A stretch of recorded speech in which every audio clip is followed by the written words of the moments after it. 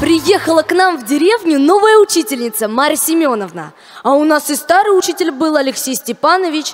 Все ученики к нему бегут, а Марья Семеновна стоит в сторонке.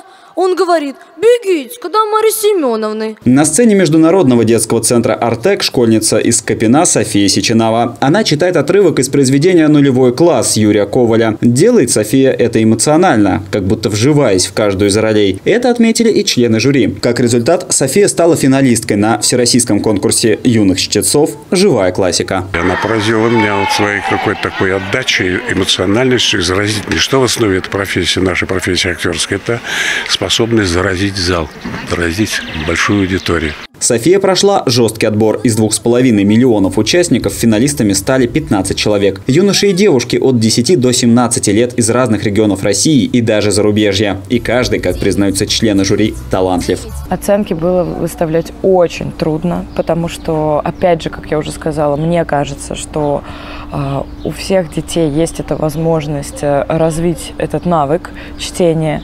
э, актерского такого чтения. После конкурса члены жюри признались, что были удивлены подачей чтецов. Выступали они совсем как взрослые, как студенты театральных вузов и актеры. Софии, например, в этом помог ее преподаватель. Скопинская школьница участвует не первый раз. И после победы признается, что рада тому, что прошла не сразу. У нее появился стимул, и она с каждым разом пыталась нарастить свои знания в творчестве.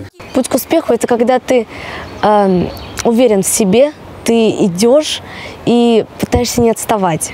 Ты всегда пытаешься все лучше и лучше себя развить. Я делаю это не ради победы, а чтобы развить себя, развить свои знания, вот, и э, становиться лучше в театральном творчестве. Расслабляться пока рано. Сейчас София готовится к международному суперфиналу конкурса. Он пройдет 19 июня в Петропавловской крепости в Санкт-Петербурге. Там ей предстоит сразиться с профессиональными артистами, звездами кино и театра. Валерий Седов, телекомпания «Город».